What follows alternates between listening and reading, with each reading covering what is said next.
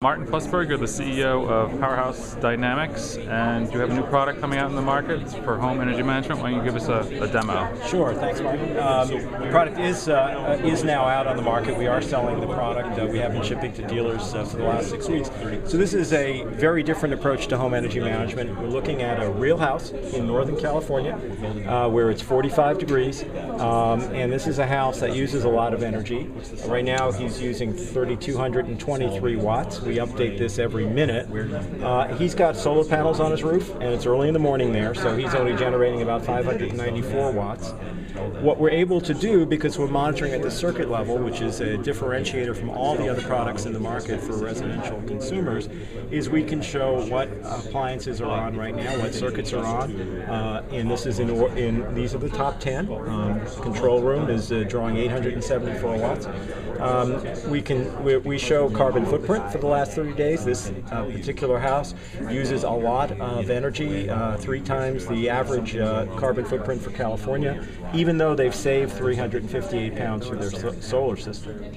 Um, we can show the consumer uh, where they've spent their money over the last 30 days. So the control room, he spent $83, uh, and that you can see down here is one of the top three users. Um, uh, in the home. We show what what their uh, bill so far is this month compared to last month. This is on a calendar month basis. And the phantom power, that's pretty yeah, pretty because, shocking. So yeah, so because we are um, uh, monitoring every circuit, we can see the circuits that draw power all the time and see what's phantom power. Now, bulk of it's in his control room, and part of what we're including as phantom power is computers in sleep mode, because most people think if it's sleep mode, it's not drawing any power. In fact, it is drawing power. He also, as we know, we know, happens to have a big entertainment control system that's on all the ah, time and draws okay. a lot of power in that room. In that room. uh, right. So we estimate he's in an expensive uh, area uh, for electricity. He spent over two thousand dollars on this phantom power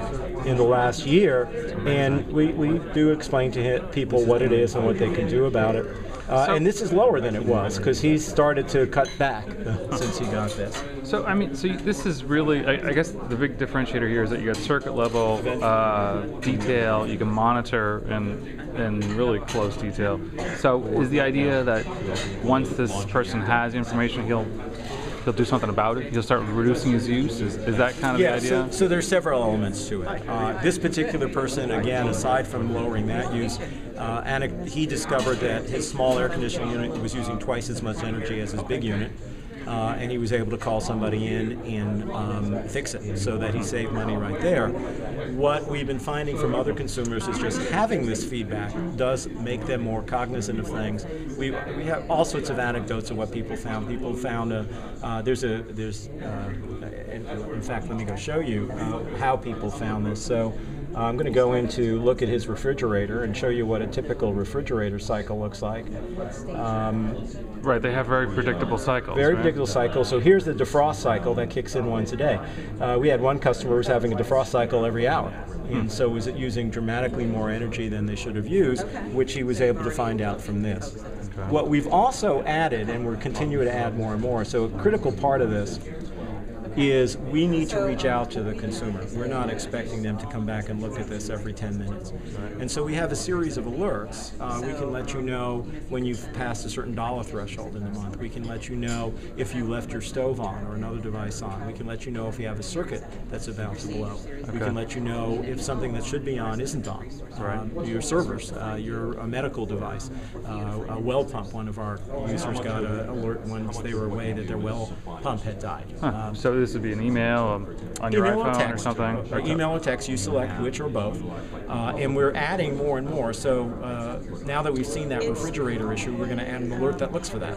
So if you've got cycling of the refrigerator, we'll let you know you've got a problem. Okay. Uh, if you your dryer is slowly using more and more energy, we can send you a note that says, hey, check the lint uh, filter. And if that doesn't do it, you might want to call someone in because it looks like there's a problem in the dryer. Okay. Uh, so there, are, because we're at that circuit level, we can be very proactive right. and help the consumer by sending information to them, not relying on them to come to us. And one of the things we do send out, we do a report card on a monthly basis. Um, where we get a little whimsical. We, we award um, green leaves based on how they're doing. Uh, you can come here to get that, uh, or we send it to you, and there'll be you know, we, with a link that comes back to the site. If there's anything else that we're seeing, we can include that in here. Um, In your monthly report, in the, in, right, monthly report. It's all color coded, so at a glance you can see: Am I doing better? Am I doing worse? What's going on? And again, that's part of our belief. So uh, that you know, an energy monitor that sits on your tabletop that tells you you're using 2,800 watts right now is of limited value. There's some it's interesting information, but giving it at the information where you can actually figure out what's going on, and then interpreting that information and, and proactively providing it to the consumer. That's what we think will make a dramatic difference in terms of uh, lowering their energy use.